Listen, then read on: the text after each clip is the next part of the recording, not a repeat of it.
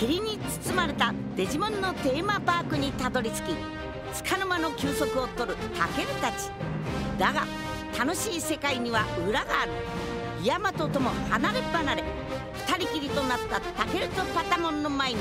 テーマパーク最大の恐怖が迫る。次回「デジモンアドベンチャー霧のモンモンパーク」冒険は新た